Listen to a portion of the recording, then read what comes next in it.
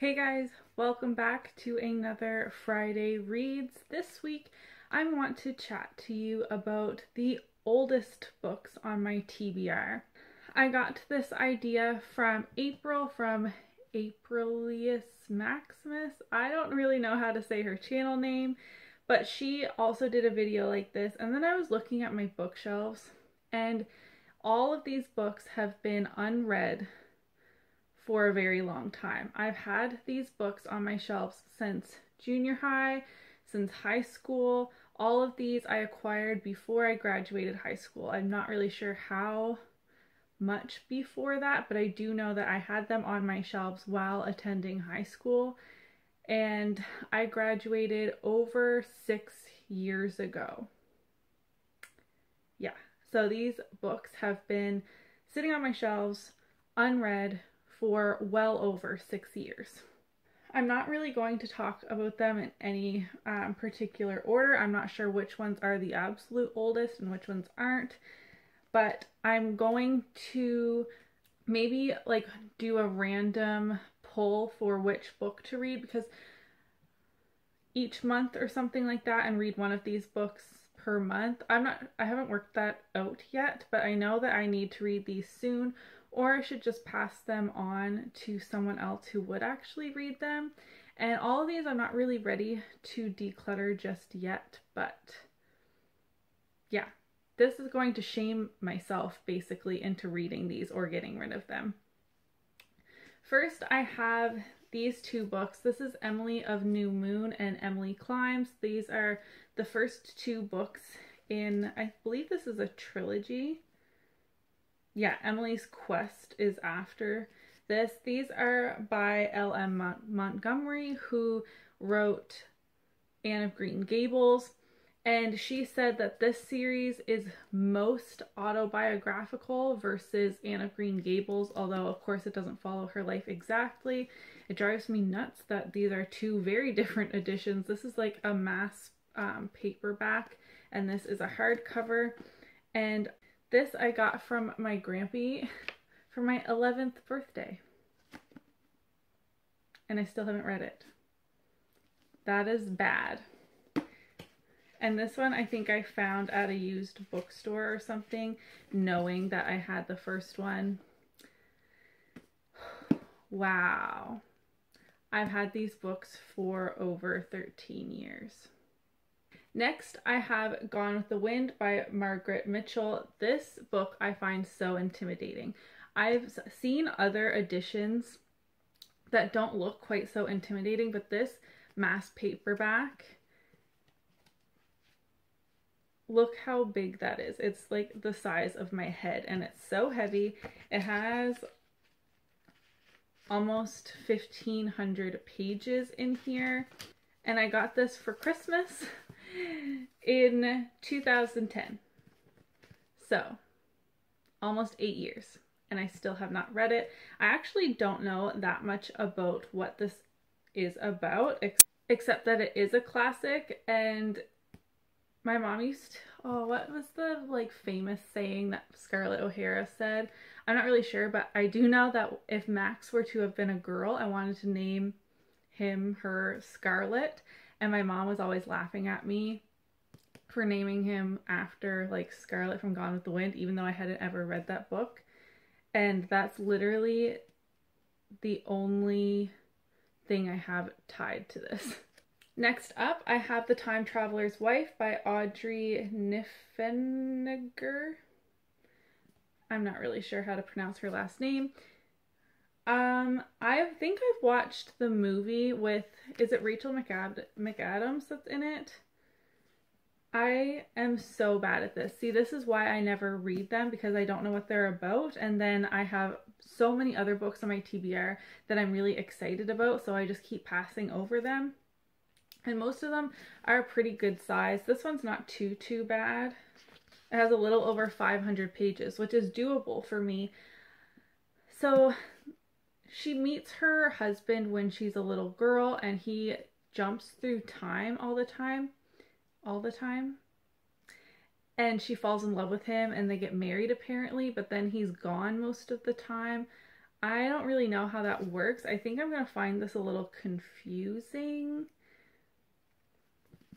But yeah, this I've had for a very long time as well. I got this from the secondhand bookstore growing up, but I don't remember exactly how old or how long I've had that. Next is Seabiscuit by Laura Laura Hillenbrand. Um, I've read half of this and then I set it down. Um, I, I don't know if I'm ever going to read it. Seabiscuit is a racehorse and it's all about his life basically right up until when he dies and I think that's why I didn't want to finish it is I didn't want to read about a horse dying because that is just a little too close to home for me. It says it's a riveting tale of grit, grace, luck, and an under underdog's stubborn determination, and it's an, an American classic apparently.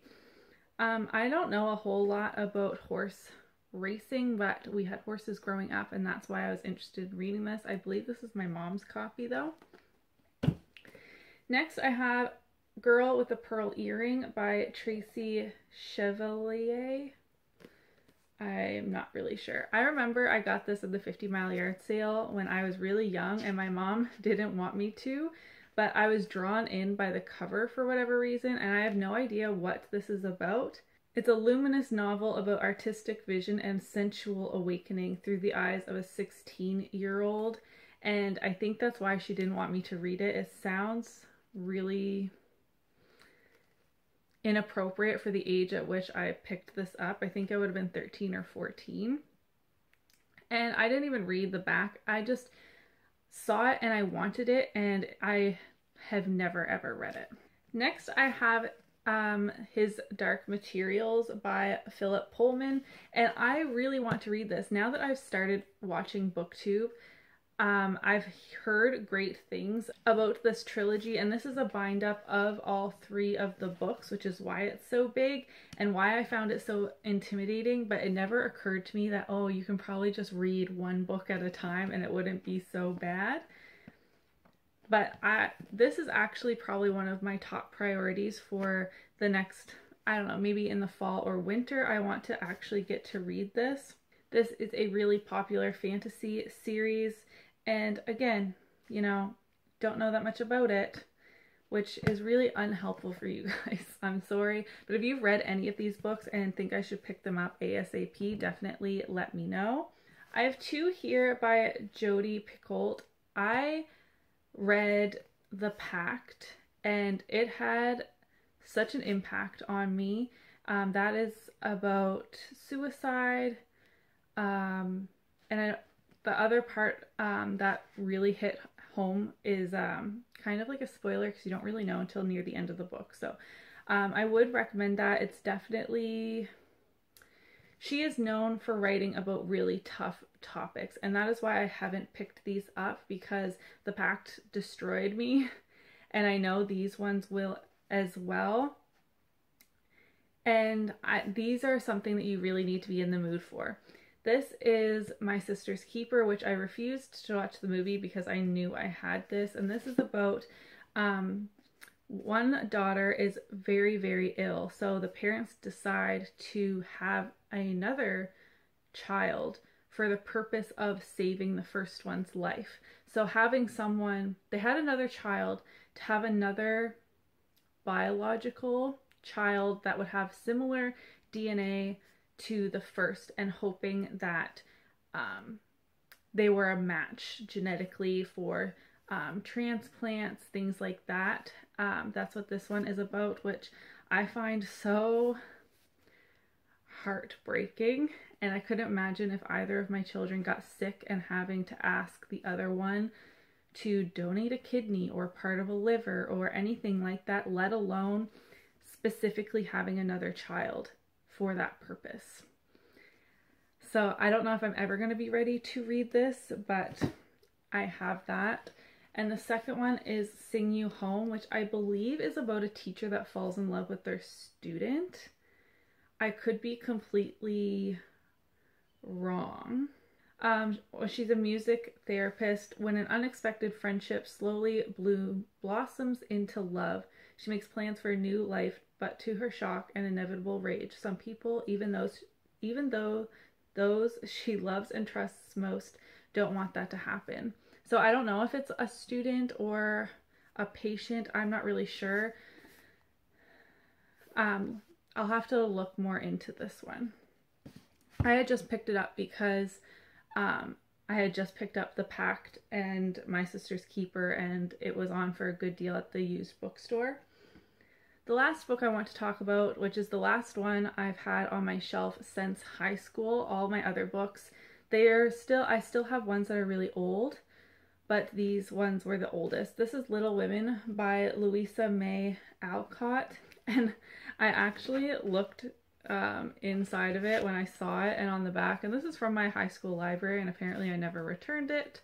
Whoops. This is another classic that I have never read. It has almost 600 pages, which is quite a lot. And again, I know it's about five sisters, I believe, and about their lives, but again, I don't really know too many specifics. So those are the 10 oldest physical books on my TBR. These have all been sitting on my shelves for well over six years, which is completely, completely embarrassing. Let me know how you think I should go about reading them. I was kind of thinking of lining them up on a shelf and then each month um, during my TBR video, um, randomizing a number and picking one that way and maybe reading one per month to get through them in the next year or so. Also, let me know in the comments down below what the oldest book that you have unread on your shelf is be sure to give this video a thumbs up if you enjoyed it, subscribe if you haven't already, and I'll see you in my next video. Bye!